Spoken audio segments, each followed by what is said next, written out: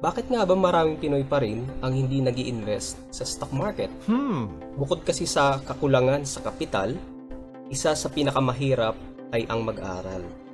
Para sa simpleng tao, maraming kailangang aralin gaya ng charts at mga technical na aspeto kasama na rin dyan ang mga terms na hindi naman natin ginagamit sa pang-araw-araw na buhay. Bukod sa mga nakakalitong linya, kailangan updated ka sa mga nangyayari sa paligid gaya ng mga balita sa ekonomiya, balita tungkol sa kumpanya, mga datos at marami pang iba na talaga namang nakakalito para sa simpleng tao na gusto lang naman ay kumita. Pero, paano kung mayroong mas simpleng paraan para mag-invest ka sa stocks na lalago ang iyong pera at hindi mo na kailangang mag-aral ng sandamakmak at kayang gawin sa laptop o cellphone lamang? Mula sa 2Trade Asia Plus, ang pinakauna ngayon sa Pilipinas, ang thematic basket. Ito ang pinakasimple ngayong paraan para mag-invest sa stock market kagaya ng ginagawa ng mga professionals. Hindi mo na kailangan magpakadalubhasa pa dahil may mga team of researchers nang gumawa niyan para sa'yo.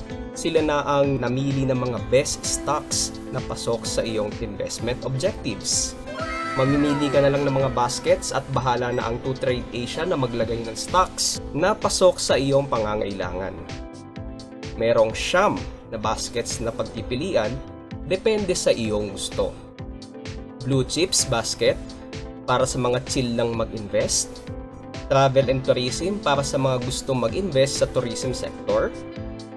Infrastructure Basket para sa mga gustong mag-invest sa infrastructures Telco Place Basket para sa mga gustong mag-invest sa mga telecommunications company, Clean Power Basket para sa mga gustong mag-invest sa clean energy, Rate Basket para sa mga gustong makatanggap ng rental incomes sa mga pinakamalalaking real estate sa Pinas, Dividend Basket para sa mga gustong makatanggap ng passive income from dividend paying companies, Below Par Value at Value Play Basket para sa mga discounted at murang stocks ngayon na may potential tumaas ang value sa future.